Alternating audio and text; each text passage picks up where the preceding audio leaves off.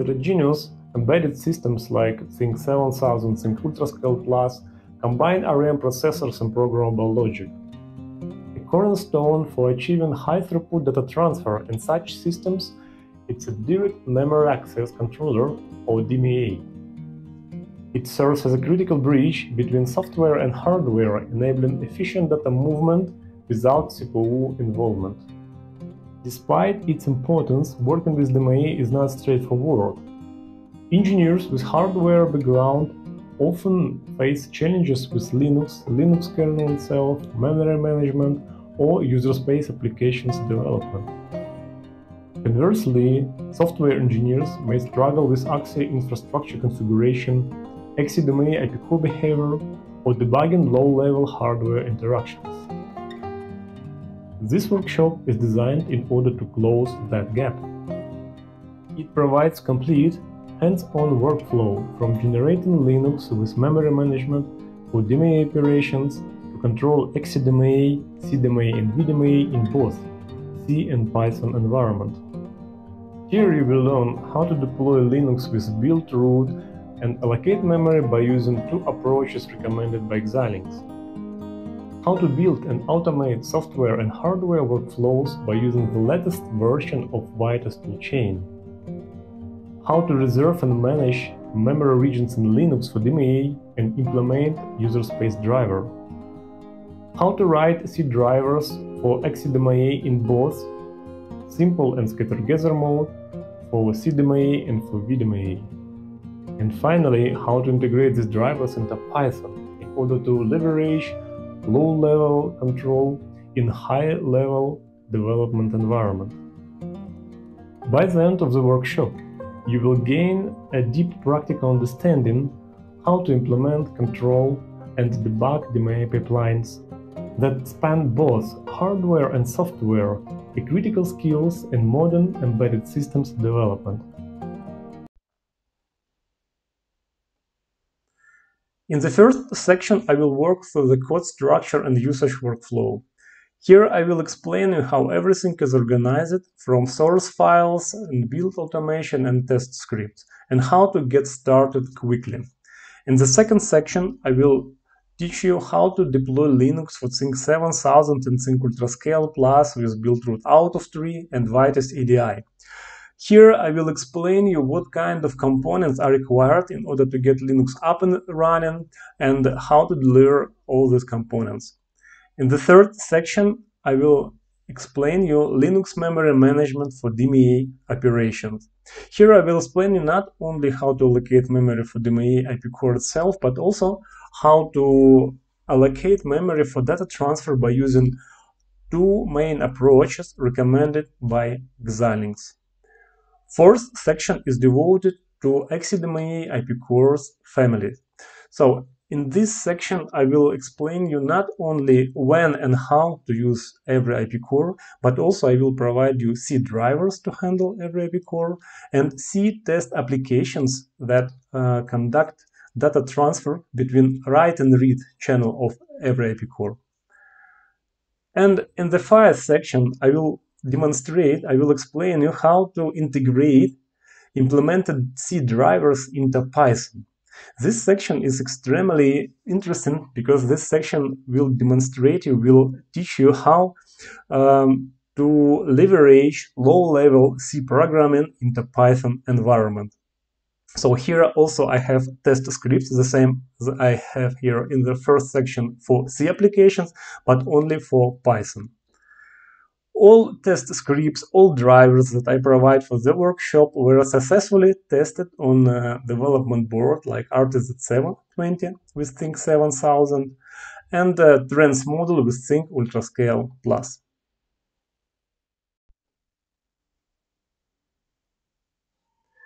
I would like to start with hands-on demo in order to demonstrate what you can learn after you complete the workshop. Here I have Vivado design with Zynq UltraScale Plus and four DMA IP cores. AXI DMA in simple mode and scatter-gather mode, VDMA and CDMA. DMA IP cores with AXI stream channels have uh, looped write and read channels. For CDMA, in order to conduct loop test, I did allocation of two buffers. Let's uh, demonstrate how to handle AXI DMA in scatter-gather mode. So for this, here I have sources for my workshop. Here I have connected target. Let's yeah, delete this. Here I have connected target via SSH. So first of all, I would like to start with compile compiling application test application for scatter for AXI DMA in scatter gather mode. So architecture ARM64 Zynq Ultrascale Plus and uh, the application test scatter gather AXI DMA. Let's compile it. Okay, so here I have executable file that I will copy to the target. So test um, scatter gather AXI DMA. And let's copy this into root directory. Okay, let's check. So here we have executable file. Let's call it on the target. And uh, from the log, uh, what I can see. So first of all, it's a approach that is used in order to locate. It's a device tree memory allocation.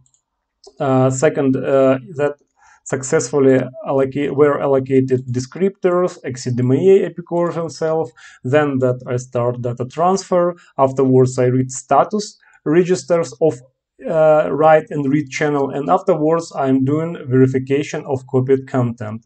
Besides that here I printed out the first and the last five words uh, from uh, the first and the five from the buffers. So, and of course here I have application that copy verification passed successfully. I can call it again and again. It can be seen that values in the buffer will be changed since the buffers are initialized by using random. Let's go back to the sources for this workshop and let's uh, compile application for Python. So here I have, uh, I need libraries for Python. So for, do, for this, I need to change the target. Here it's a PyDMA. And um, as compilation is complete, I can go to the Python folder. And here I have some artifacts, namely shared library that I need to copy to the target. So this is a, shared library. This is a Python module itself and the Python script to test AXI DMA in scatter gather mode. Okay, that's all what I need. This I will copy also, uh, sorry, to the target. Let's copy same. So, okay, I have here and here I can call this Python script test scatter gather domain.py Okay, um, so uh, the script does the same as uh, C application did. So it so what it does it does memory allocation by using device tree approach. Then it uh, gives feedback about successful allocation of uh, scatter gather AXI DMA descriptor chain. AXI DMA uh, IP core itself, then data transfer started successfully, and afterwards I'm checking status register also for write and read channel. And, and afterwards I'm um, um, I'm printed out uh, the first and the last five elements. This is uh, for input and for output buffer. So and uh, by uh, so and um, relying on these messages so I can conclude the transfer was completed successfully. Let's repeat this again and again. So, and it can be seen that values in the buffer are different from call to call. So, uh, but in any way, anyway, verification, copy verification uh, also passed.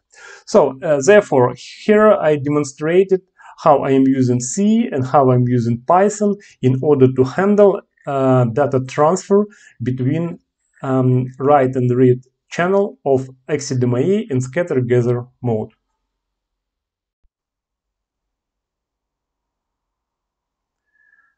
As I already mentioned, for the workshop, I provide source files, build automation, and test scripts uh, that you can see on the slide. So, uh, let's uh, let's uh, work through the workflow for the workshop. So, in order to get started with the workshop, uh, the first Vivado project is required. So, uh, and therefore, uh, here I provide Vivado directory, Vivado folder with sticky scripts in order to build Vivado project for uh, both targets, either Zynq 7000 and Zynq Ultrascale Plus. So, uh, by building Vivado project, system XSA archive will be exported. So uh, the next step is to uh, compile uh, FSBL, um, power management firmware, a bitstream, and is optional, it will be compiled automatically, device, script, uh, device tree. So for doing this, Vitis CDI is required, namely Vitis component, um, uh, platform component that also can be built by using Vitis Python API. Uh, that's the part of this uh, build automation script, Vitis uh, underscore auto.py.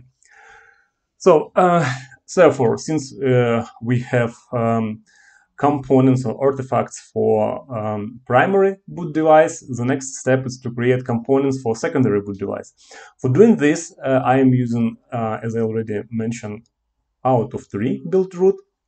All sources I provide here. So also here as make file is included and um, uh, Buildroot project can be created just by using one call and also for um, both target for Zynq 7000 and for Zynq Ultrascale plus. So um, if you're if you're using if you're using your own um, another tool, for example, PetaLinux or Yocto, you can skip this uh, step. So, or for example, uh, you can use you can download exported Buildroot SDK. Um, so uh, this is also I uh, recommend and. Um, all links uh, I provide for uh, how to download exported Buildroot SDK from my Google Drive. so Therefore, therefore, we have here components for primary boot device, for secondary boot device, and therefore boot bin file can be created. Uh, boot bin file and um, kernel compiled device tree and rootofs file in order to have our Linux up and running. So, therefore, the next step, the next step is to, to compile applications, uh, test applic drivers, uh, test applications and Python shared, uh, shared libraries for Python from the from the um, sources for the workshop. So in order to do this, I provide one make file. It can be done via only one make file with certain targets. I will explain this uh, step by step in further uh, sections of the workshop, but uh, what is important to know here. So here I provide include a folder with uh, headers file, C headers file source. It's a C drivers um, for the DMA controllers test folder.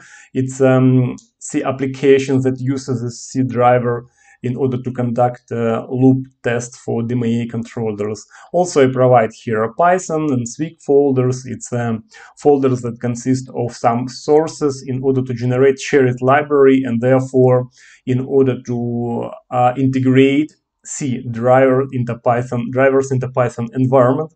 So um, and uh, as I already mentioned, for this I'm using only one make file, and um, in make file there is a path to cross compiler um, and some additional files. So feel free to uh, modify this according to your environment, or if you're using exported, if you download exported Buildroot SDK, you can use make file as is uh, without any modification. And uh, uh, the last, the last, uh, but not least, uh, this is the kernel model. So as already mentioned, here I'm using two approaches to allocate memory recommended by Xilinx, and one of the approaches related to CMA memory allocation. So for doing this, I'm using udmabuf. Uh, here I provide udmabuf sources and um, here you can find in the folder also make file that you need to modify. Uh, so you were uh, by adding paths to not only cross compiler but also paths to uh, Linux uh, kernel sources for your target. So this is quite important because if you Linux kernel that you are using is quite different, so it will be impossible to insert the model um, and uh, get this model up and running on your target. So, um, so if you are using out of tree build root here, so I have already integrated this udmabuf uh, kernel model as a package. So therefore, on your target, you already will have compiled kernel model and can use this as is without any modification. So.